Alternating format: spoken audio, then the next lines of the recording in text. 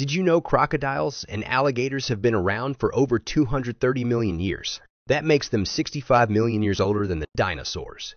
The most notable difference lies in their snouts. Alligators have U-shaped, broader snouts, whereas crocodiles feature V-shaped, more pointed snouts. Additionally, when their mouths are shut, alligators' upper teeth are hidden, whereas in crocodiles, both upper and lower teeth are visible.